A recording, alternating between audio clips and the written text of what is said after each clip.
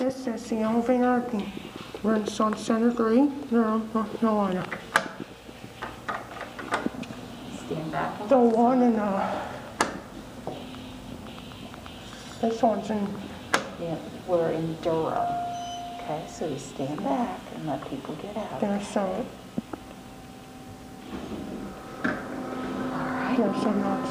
And then someone this, what do we ask? What floor? Floor, Three, or two. Two.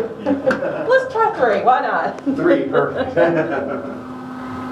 What kind of elevator is this? installed in 2005. What kind of It's elevator? an Otis. Oh, One, Thank you. and so there's your special certificate installed in 2005. Yes, we gave it a try and what happened? We gave it a try. It was good. This, uh, noise. Hi. Hi. Hi.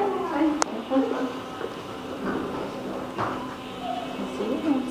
There goes in, that's it.